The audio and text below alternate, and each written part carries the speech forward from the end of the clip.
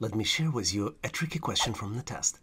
I have confidence, though, that you might figure out the answer. Here's the question What figure can be visualized upon combining the two rectangles? And you have two rectangles on the left. Both of the rectangles are 7 by 3, and you have four different choices. Choice A, graph. Choice B, shape. Choice C, letter. And choice D, number. Do you see the answer? See if you can pause this video for 10 to 15 seconds to give yourself some time to figure out the answer. Did you figure out the solution? Let's continue to see how we can get to the correct answer together. Let me explain to you how you can come up with the solution on your own. Upon merging of two rectangles, you can see that 8 can be visualized, and 8 is the number. So the correct answer is choice D, number. Hopefully you've nailed this question and now know how to answer similar problems on the test.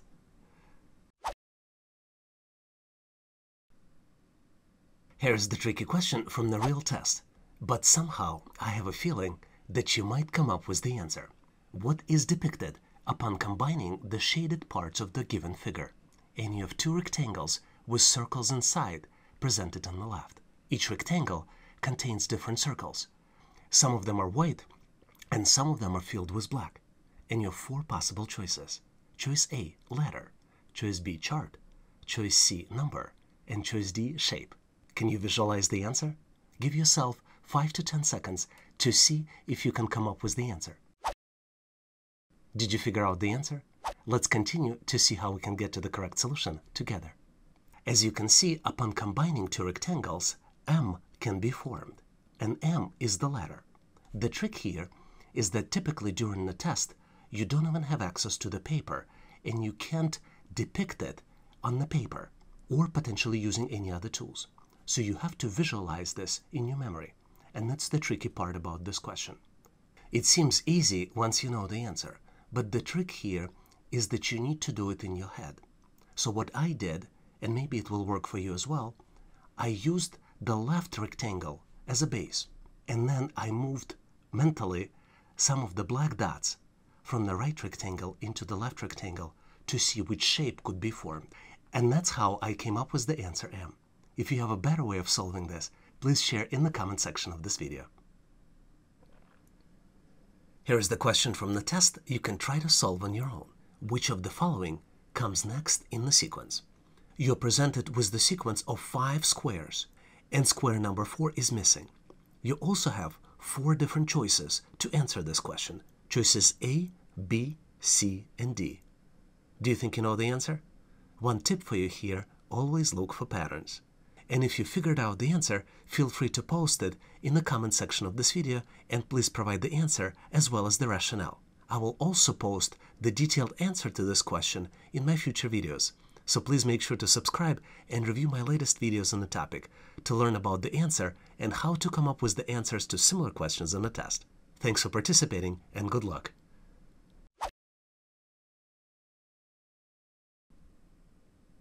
Let's look at the interesting question which tests your pattern recognition skills. Determine the missing shapes inside the figure to complete the sequence. And you presented with 2 by 2 figure. It has two missing shapes and you have four possible choices A, B, C, and D. Do you see the answer? Now might be a good time to pause this video and give yourself 10 to 20 seconds to see if you can come up with the solution on your own. Did you figure out the solution? Let's continue to see how we can solve this challenge together. As usual, to solve these types of problems on the test, you need to look for patterns. And there are two patterns here presented. Number one is the diamond pattern in the middle. And number two is the pattern of shapes on the outside of the smaller squares, which are unique. Outside shapes corners are always aligned with the corner of the smaller square as well. The two missing shapes also have similarities with other shapes present in the box. Upon combining, all triangles in the center form a diamond shape. Let's look at each one of these two patterns in more details. You should look for the triangle which matches the color, and upon combining, it should build a diamond. For pattern 2, the missing shape in the upper right corner should complement the shapes with the corners that can be exactly placed in the box.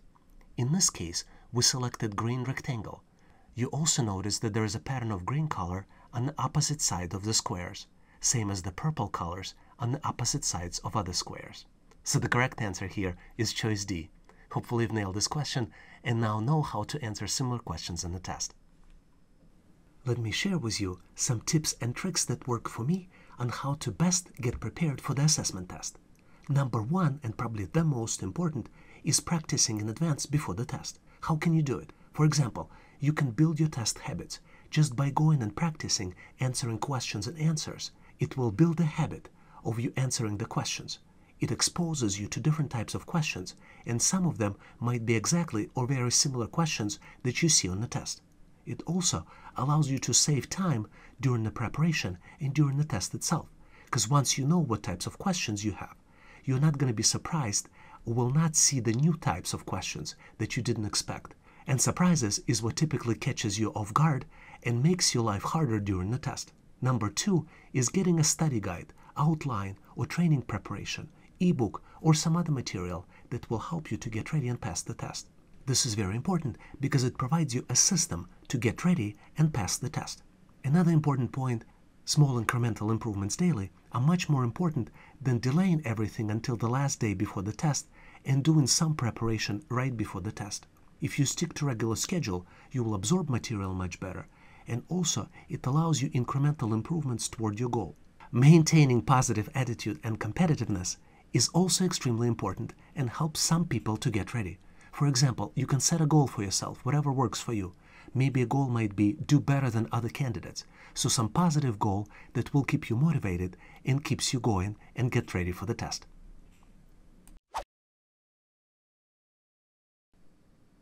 Let me share with you a tricky question which tests your pattern recognition and visual reasoning skills. Which of the following completes missing parts of the square? And you're presented with the 4 by 4 square, which contains different smaller squares inside, and four possible choices. Choice A, B, C, and D. Do you recognize the pattern? Now might be a good time to pause this video and give yourself 10 to 20 seconds to see if you can come up with the answer. Did you figure out the answer? Let's continue to see how we can solve this challenge together. Interesting question, isn't it? But as usual, look for patterns. If you look closely, you will see that the middle box right in the center of the larger square is symmetrical.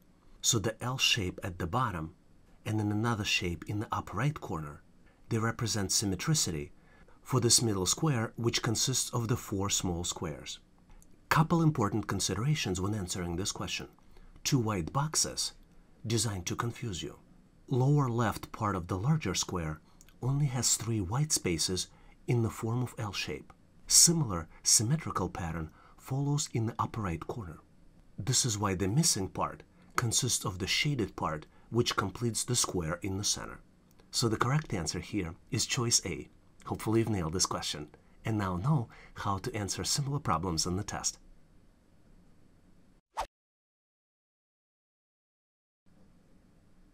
Let me share with you a tricky question from the test. Somehow, though, I have confidence that you might figure out the answer. Here's the question. Which of the following completes the missing part of the square? And you have 3 by 3 square, which consists of the smaller squares. Each small square has a star, and all stars are in the different corners. One small square is missing, and you have four different choices to figure out the final answer. Choices A, B, C, and D. Each choice has a star in a different corner. Do you think you know the answer? Give yourself 10 to 20 seconds to see if you can come up with the answer on your own. Did you figure out the answer? Let's go ahead and jump straight to the solution. As usual, the best advice I can give you is always look for patterns. So there are multiple patterns going on. Let's look at each one of them. The first pattern is that the top and the bottom rows follow the similar patterns. You see the location of the stars for the top row, they are in the top, and for the bottom row, the stars are at the bottom part of the bottom row. If you follow the middle row, you will see that the stars in the middle row follow completely different pattern. The first middle row star is at the top, then bottom, then the next one logically would be at the top again. You also see that the middle row stars are placed on the opposite sides of the top and bottom row stars. You see in the first column the middle row stars in the upper right corner versus the top and the bottom rows which are placed on the left side. Same thing happens in the middle column and then assuming that we figured out the pattern, you will see that the same pattern will be applicable in the right column as well. This is why the missing star is placed on the opposite side of the stars in the top and bottom rows. Let's recap. Always look for patterns. The stars inside the box follow the pattern. Top and bottom row follow similar patterns and pattern in the middle row is very different. Notice that the first row and the last row stars are placed in the upper and left sections. Middle row stars, though, are positioned on the opposite side of the stars placed in other rows. Middle row stars also follow a pattern of upper, lower, and then upper. Therefore, the missing star is placed on the opposite side of the star in the first and last row at the upper left corner. So the correct choice here is choice D. Hopefully you've nailed this question, and in case you didn't, you know how to answer similar problems on the test. Here's the tricky question you can try to solve on your own. Which of the following circles comes next in the sequence? And you have four different choices presented, A, B, C, and D. My advice for you here, always look for patterns. And I have a confidence that you can come up with the solution on your own. Give yourself 10 to 15 seconds, maybe pause this video to see if you can come up with the solution. And if you figured out the answer, feel free to post the answer and your rationale in comments so I can give you my feedback. I'll also post a detailed answer in my future videos, so make sure to watch my latest videos or consider subscribing to learn more about the answer and understand the rationale on how to come up with the answers to similar questions in the test. Thanks for participating and good luck.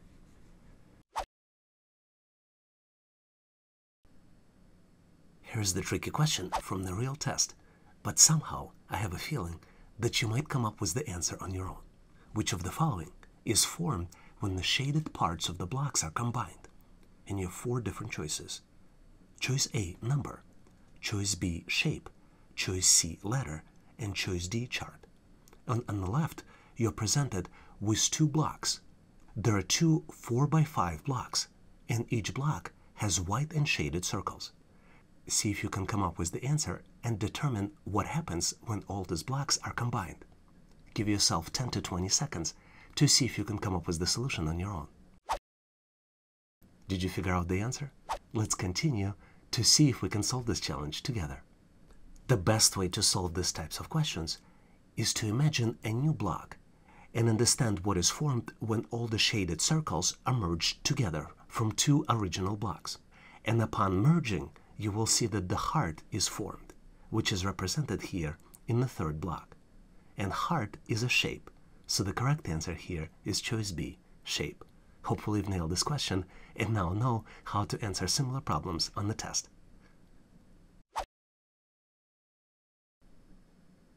Let's look at the tricky question, which tests your knowledge of reasoning as well as the math skills. Here's the question.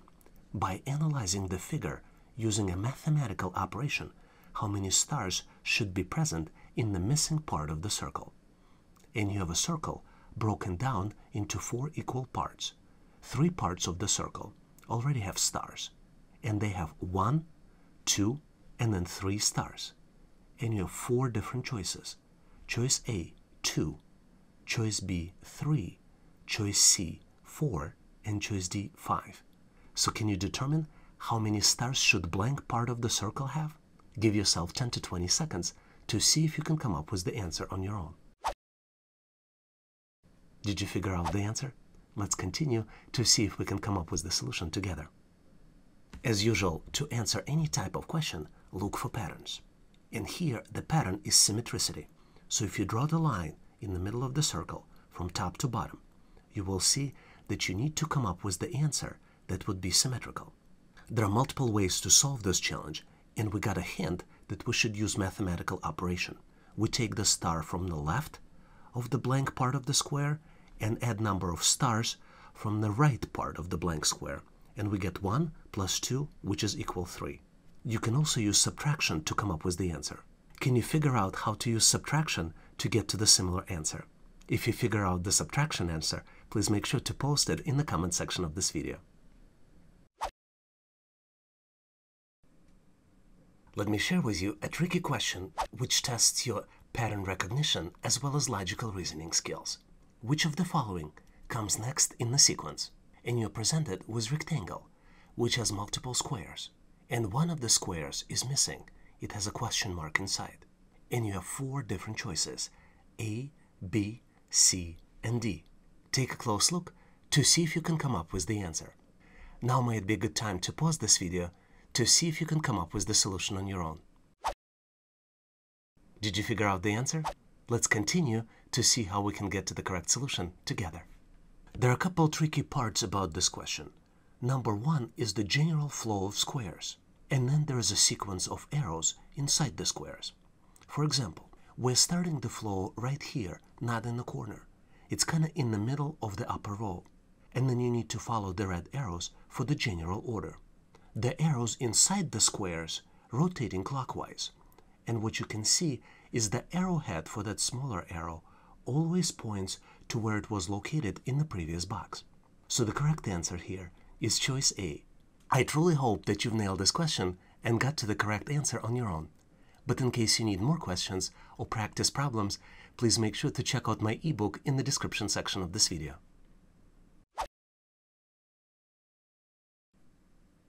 Let me share with you a tricky question which tests your reasoning, analytical, as well as visualization skills. Which of the following completes the missing part? And you're presented with 2 by 2 box. One of the square in the big box is missing. And you have four different choices to choose from. A, B, C, and D. Take a closer look and see if you recognize the pattern. Do you think you know the answer? Now might be a good time to pause this video to see if you can come up with the solution on your own. Give yourself 10 or 20 seconds to see if you can come up with the answer. Did you come up with the answer? Let's continue to see how we can solve this challenge together. Tricky question, isn't it? But as usually, all tricky questions always have the answers. So take a look here. There are four shapes inside the square, and each shape has a unique color. Shapes stay in place. The only thing that changes is the black color for the shape. And what you can see is that the pattern of the black colors inside the squares and it rotates counterclockwise. So, as usual, always look for patterns. You see that the flow among the shapes starts in the upper left corner and flow goes clockwise. But the rotation of the black color inside the squares goes counterclockwise. So that's the tricky part of the question, but there's always the right answer. And as you can see, the right answer here is choice D. Let's recap. Always look for patterns. In this case, there are four shapes and each shape has a unique color. Color black rotates inside the square, but same shapes stay in their original position. And the rotation inside the squares is done counterclockwise. So hopefully you've nailed this question and now know how to answer similar problems on the test. And here's the question you can try to solve on your own. Which of the following comes next in the sequence. You're presented with four different squares, and each square has another figure inside. And there are four possible choices A, B, C, and D. Now might be a good time to pause this video and give yourself 10 to 15 seconds to see if you can come up with the solution. One tip for you, always look for patterns. If you figured out the answer, feel free to post the answer in the comment section of this video.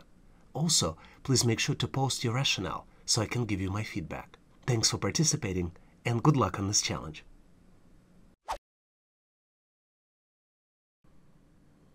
Let me share with you an interesting question which tests your reasoning skills. Determine which of the following is missing and you're presented with the large square which could be logically broken into 3 by 3 small squares and four different choices. Choice A, B, C, and D. You have a missing square in the bottom left corner. Do you think you can figure out the answer? Now might be a good time to pause this video and give yourself 10 to 20 seconds to see if you can figure out the solution. Do you have the answer? Let's continue to see how we can solve this puzzle and get to the correct solution together. We presented with the very interesting challenge here.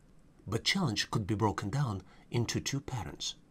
The first pattern is the flow of small squares around the middle, and the second pattern is the flow of triangles inside the small squares. Pattern 1 rotates clockwise and starts in the upper left corner. You see that the pattern rotates around the cent clock, which is in the middle, and cent clock does not participate in the pattern.